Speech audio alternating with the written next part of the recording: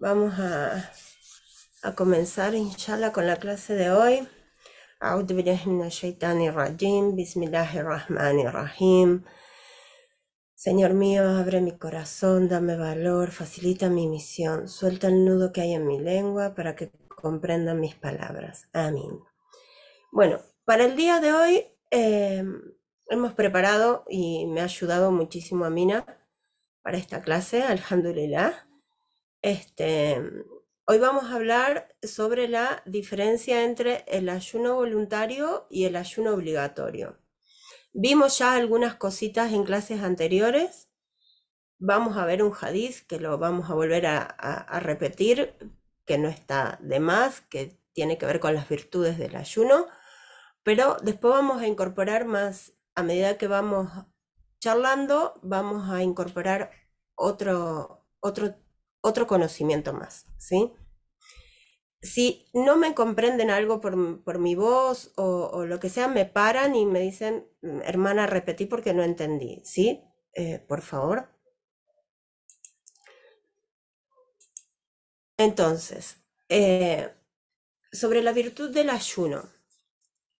Esto ya lo hemos, lo hemos visto eh, anteriormente, lo vamos a volver a leer. Alá se atribuye a sí mismo el ayuno para que le honremos y exaltemos, ¿sí? Abu Huraira relató que el mensajero de Dios, sallallahu alaihi wasallam, dijo, el ayuno es una protección del fuego. El ayunante debe, pues, abandonar toda relación sexual y todo mal comportamiento. Y si alguien lo agrede o la insulta, debe decir, yo estoy ayunando dos veces. Y por aquel en cuyas manos está mi vida, el olor que proviene de la boca del ayunante es mejor para Dios que el perfume del almizcle.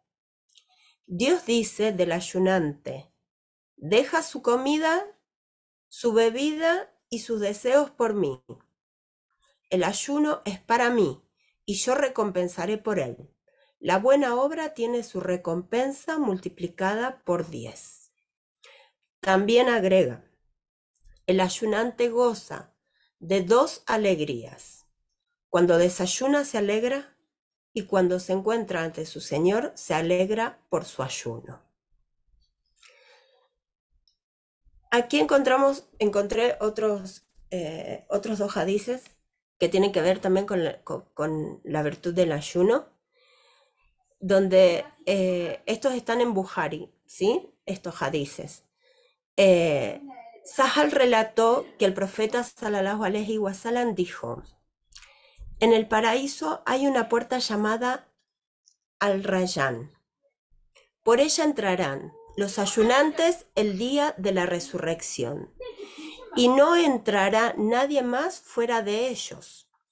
Se dirá, ¿dónde están los ayunantes? Ellos se levantarán y nadie más entrará por, e- por ella fuera de los ayunantes. Tras que los ayunantes entren, se cerrará la puerta y nadie más podrá entrar por ella. Abu Huraira relató que el mensajero de Dios, sallallahu alaihi wasallam, dijo: Quien da en caridad dos tipos de bienes por, la causa de Dios será llamado desde los portales del paraíso y se les dirá: Siervos de Dios, aquí está la prosperidad.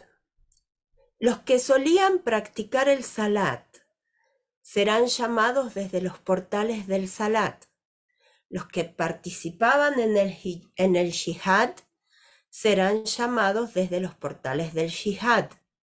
Los que ayunaban serán llamados desde el portal de Al-Rayyan.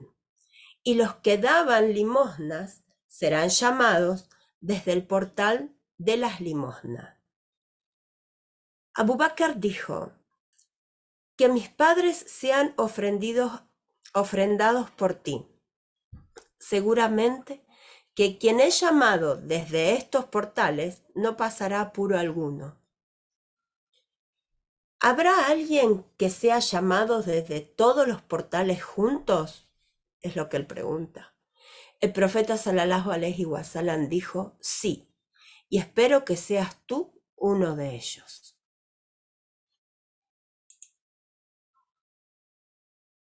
Estos hadices, como dije antes, están en, en Buhari y tienen que ver con la virtud de lo que significa el ayuno, ¿sí? que es una, una gran, una gran eh, acto de adoración y que tiene muchísimas recompensas. A modo de repaso, ya hemos aprendido en la clase número 3 que en el Islam el ayuno es la adoración a Alá absteniéndose de comida, bebida y el coito desde un poco antes de que sale el sol hasta que se pone el sol.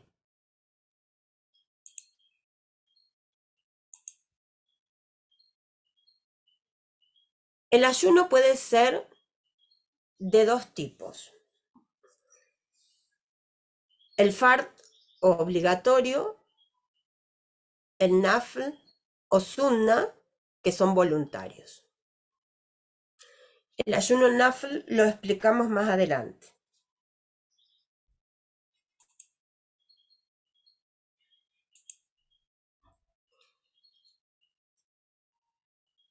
El mes de Ramadán eh, ya hemos explicado cuándo es y qué es obligatorio ayunarlo, ¿sí? Esto es sobre los ayunos obligatorios.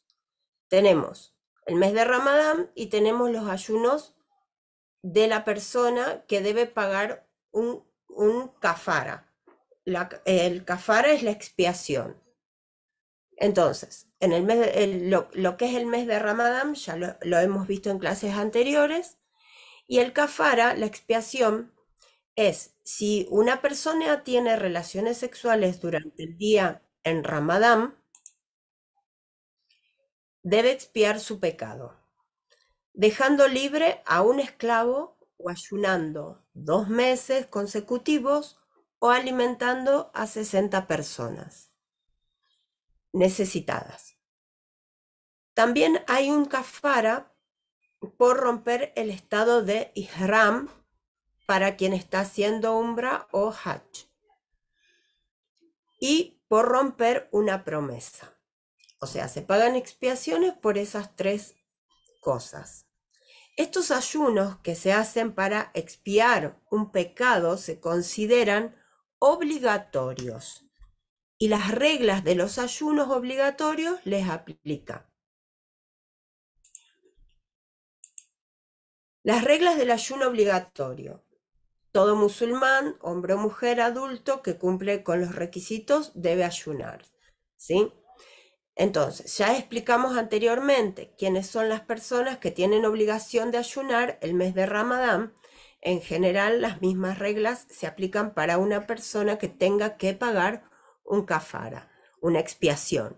Lo que quiere decir, por ejemplo, que si una mujer tuvo relaciones sexuales en el día de Ramadán y tiene que ayunar dos meses consecutivos, los días que tenga la menstruación no debe ayunar, pero debe retomar el ayuno consecutivo tan pronto finalice su sangrado. Para los ayunos obligatorios es requerido que la persona tenga la intención, lo que es la NIA, antes del fallar. O sea, tenga la intención de ayunar ese día antes de que comience la hora del fallar. ¿Qué quiere decir tener la intención de ayunar? No es necesario articularlo con palabras, ya que la intención es algo que está en el corazón, pero sí debe haber pensado antes del fallar, este día ayunaré por Ramadán o por Kafara.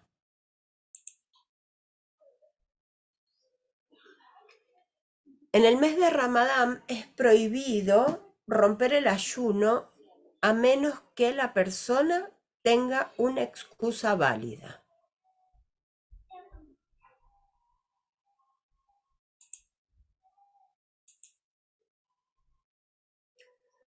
Sobre los ayunos voluntarios.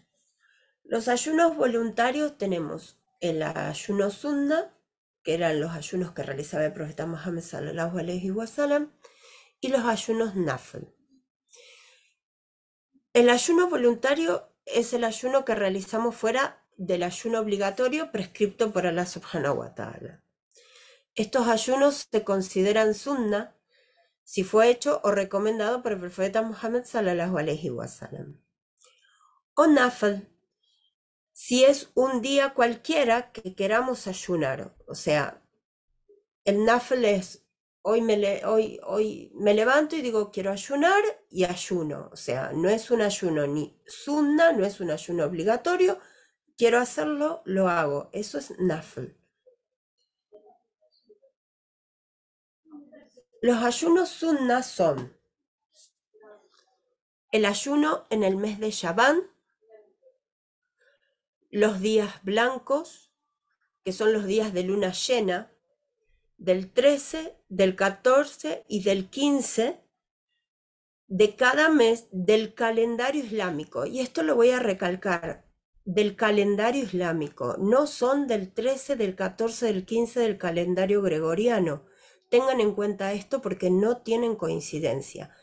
El calendario islámico es el calendario musulmán y los días blancos hacen referencia al 13, 14 y 15 del calendario islámico.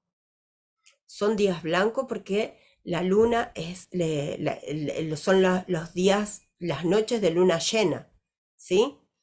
Entonces, esas noches las van a ver mucho más iluminadas, mucho más claras que el, resto de las noches. Por eso se le dicen los días blancos.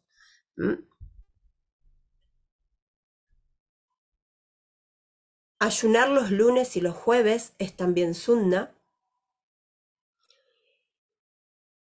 El profeta sallallahu alaihi wasallam prescribió como sunna el ayuno voluntario de los seis días del mes de Shawwal. Abu Ayyub, que Alá esté complacido con él, informó que el mensajero de Alá sallallahu alaihi wasallam dijo: Para el que ayune durante el mes de Ramadán y continúa ayunando seis días de Shawwal, esto será como si ayunara una vida entera. Narrado por Muslim, Abu Dawud, Tirmidhi, Al-Nisai y Ibn Maya. Otro de los ayunos voluntarios son los primeros días del mes de Dulhijja y Arafa. El mensajero de Allah solía ayunar los nueve días de Dulhijja, reportado por Imam Ahmad y Abidaud. En el mes de Muharram es sunna ayunar el día de Ashura y el día anterior al mismo. Aisha dijo, Quraysh solía ayunar el día de Ashura, durante la época de la ignorancia. El mensajero de Dios, salallahu alaihi wasallam, también lo ayunaba, y cuando llegó a Medina lo siguió ayunando y ordenó que se ayune. Cuando el ayuno de Ramadán se prescribió, dejó de ayunar Ashura, así pues, quien quiera lo ayunaba y quien no quiera no ayunaba. Este hadith está en Bukhari. También Abdullah bin eh, Abbas dijo, el profeta sallallahu alaihi wasallam llegó a Medina y vio que los judíos ayunaban el día de Ashura. Dijo, ¿qué es esto? Ellos dijeron, los judíos, es un día bueno. En este día Dios salvó a Banu Israel de sus enemigos. Musa ayunaba en este día. El profeta sallallahu alaihi wasallam dijo, pues yo tengo más derecho a Musa que vosotros. Lo ayunó y pues lo ayunó, pues y después mandó a que lo ayunen. Esto está en Buhari.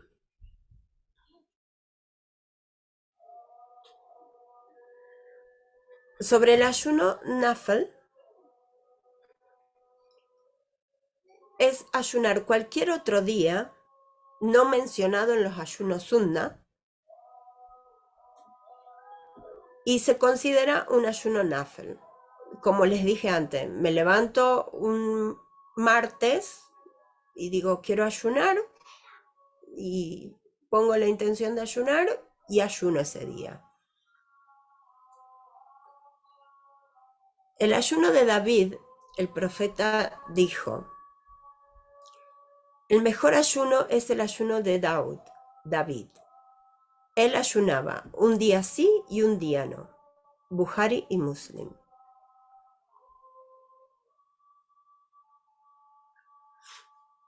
Disculpen que tomo agua.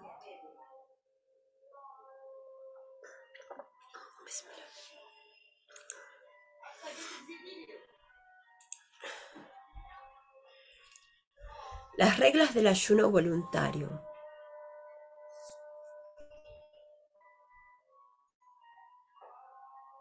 El ayuno voluntario se puede hacer en cualquier momento con algunas excepciones que mencionamos más adelante.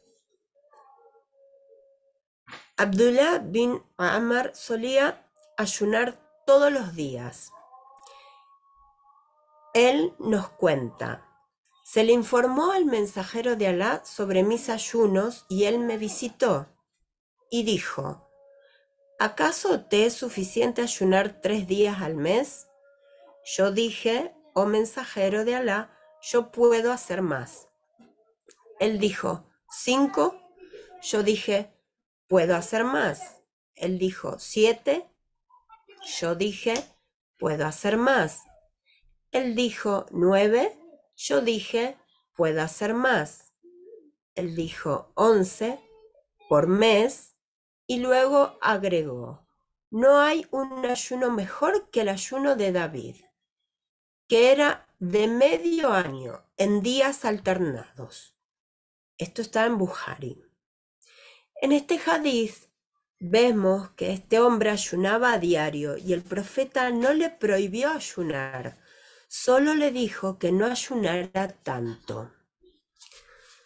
No es necesario tener nia antes del fallar, como vimos en los ayunos obligatorios. En el ayuno voluntario, el voluntario no es necesario tener nia antes del fallar para el ayuno voluntario. El profeta sallallahu alaihi wasallam dijo: Una vez en el día de Ashura, quien haya comido hoy que no coma más y ayune.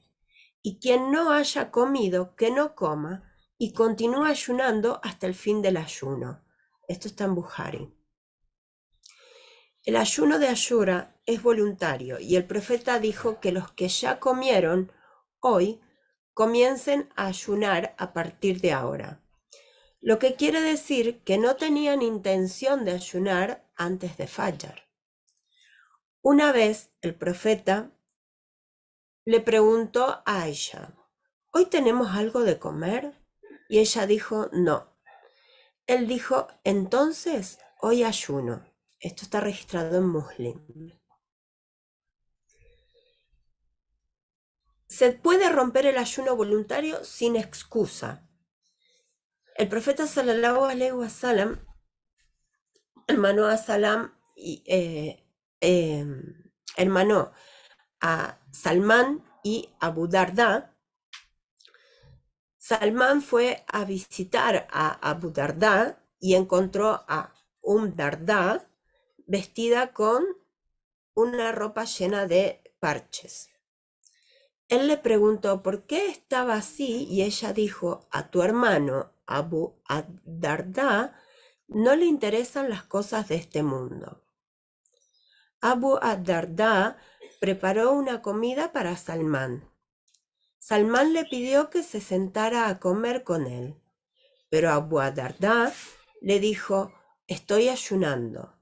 Salmán dijo, no comeré hasta que tú comas. Entonces Abu comió con Salmán. Cuando llegó la noche, Abu se levantó a rezar pero Salmán le ordenó que durmiera y Abu durmió.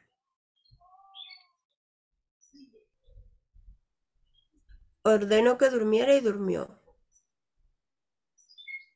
¿Hasta ahí ya? Eh, sí. Ah, bueno, bismillah. Entonces lo termino de decir yo. Ah, Ok. Eh, después Abu Darda se despierta eh, otra vez más tarde en la noche y Sí. Salman le dice, eh, "Vuélvete- vuelve a dormir. O sea, se despierta a rezar, a hacer el tahajjud.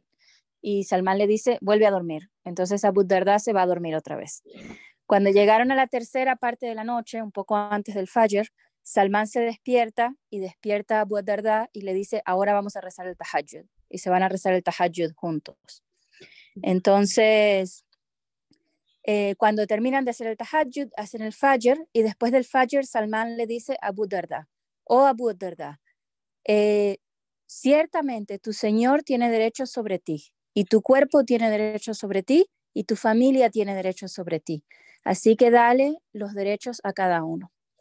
Después que esto sucedió, Abu Darda se fue donde el profeta sallallahu alaihi wasallam a contarle lo que había pasado. Y el profeta dijo, Sadaqa Salman, que quiere decir, Salman ha dicho la verdad. ¿ok? Entonces, eso es el final del hadith. Este hadith normalmente se utiliza para eh, mostrar cuando una persona está siendo muy extrema en sus actos de adoración, que el Islam no incita a ese extremismo, ¿verdad? Pero también vemos en el hadith que Abu Darda estaba ayunando y Salman lo forzó a romper el ayuno, ¿ok? Entonces, cuando Abu Darda se fue a quejar donde el profeta de todo lo que había pasado con Salman, el profeta le dijo, Salman tiene la razón, o sea, Salman estaba haciendo lo correcto. Que nos da a entender también que Abu Darda estaba haciendo ayunos excesivos y Salman lo forzó, como quien dice, a romper su ayuno, su, su ayuno voluntario. Entonces, eso nos muestra que eh, no hay eh, que tener una razón válida para romper el ayuno cuando es un ayuno voluntario. En Ramadán sí, en Ramadán si estoy ayunando no puedo decir, ay, bueno, rompo el ayuno y como. No, pero en, eh, fuera de Ramadán, en cualquiera de los ayunos voluntarios, uno no tiene que tener razón. Si quiere romper el ayuno, lo rompe y ya. ¿Ok? Inshallah. Perdón, Natalia, que te debo haber dejado las, not las notas cortadas. Ya saqué a la jer, ya saqué a la jer.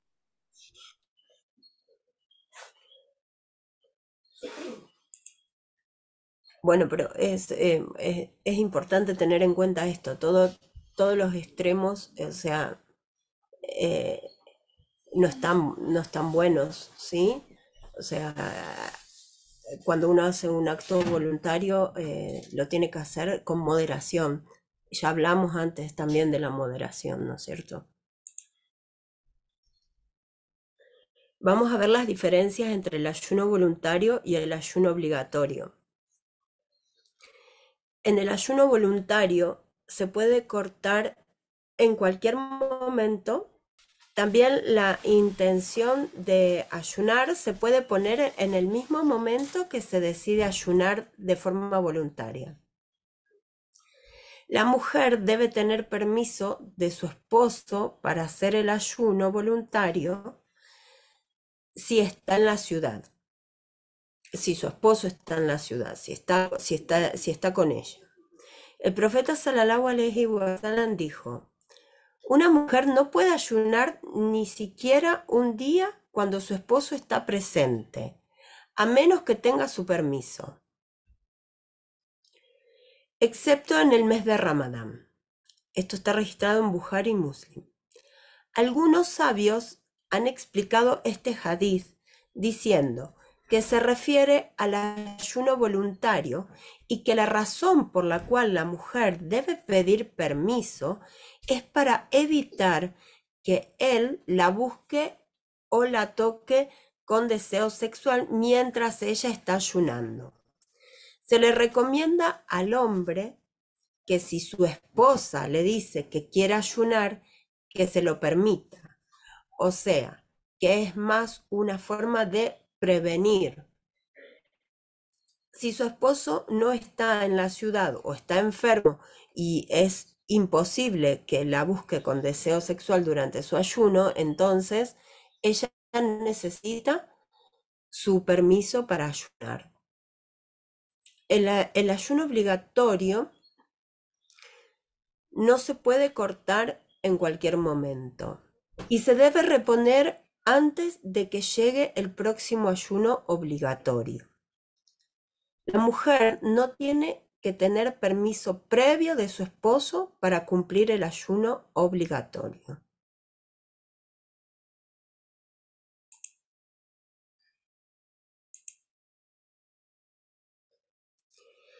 Los días que, eh, está prohibido hacer ayunos voluntarios.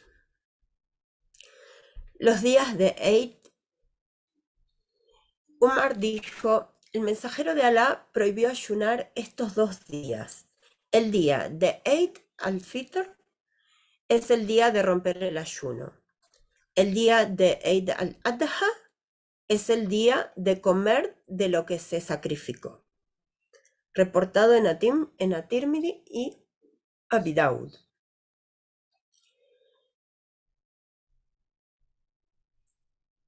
Tampoco se puede ayunar los días de Tashrik. Son tres días después de Eid al-Adha. Ibn Abbas reportó que el mensajero de Alá dijo, no ayunen estos días, pues son los días de comer, beber y celebrar con la familia.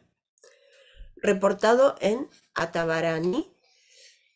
Tampoco se puede hacer ayuno voluntario los viernes si es el único día que ayunamos. El mensajero de Alá entró en la casa de su esposa, eh, Yuwarilla, mientras ella ayunaba un viernes. Le preguntó, ¿ayunaste ayer? Ella dijo no. Él le dijo, ¿piensas ayunar mañana? Ella dijo no. Él le dijo, entonces rompe tu ayuno reportado en An-Nasai.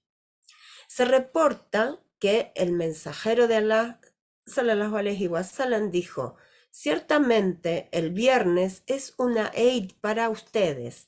No ayunen ese día a menos que piensen ayunar el día antes o el día después. Reportado por Ibn Abu, Abu Shaiba en Bukhari Muslim. Dice, no ayunen los viernes a menos que piensen ayunar el día antes o el día después. Otro día que no se puede ayunar es el día de duda, el día antes de Ramadán. Esto ya lo mencionamos en, eh, clases anteriores, pero eh, ese, ese día, como estamos observando la luna, si va a ser el día siguiente Ramadán y comienza nuestro ayuno obligatorio, no se puede ayunar el, día, el día anterior. Recuerden que dijimos que dos días antes de Ramadán no se ayunaba.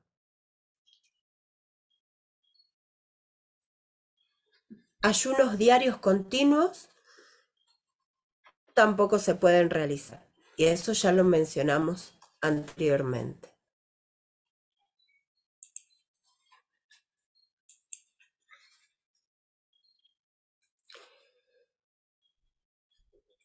Para algunas personas el ayuno voluntario se puede volver obligatorio. Abdullah dijo, estábamos caminando en la, compañía del profeta Salallahu alaihi wasallam y nos dijo, quien pueda costear casarse, que se case, pues le ayudará a evitar estar mirando a otras mujeres y protegerá sus partes privadas de hacer actos sexuales prohibidos. Y quien no pueda casarse, que ayune, pues el ayuno disminuirá su deseo sexual. Esto está registrado en Buhari. Basado en este hadiz, los sabios dicen que si una persona no puede casarse y tiene deseo sexual, debe ayunar, dependiendo de qué tan grande sea el deseo sexual, el ayuno para esa persona puede ser recomendable u obligatorio.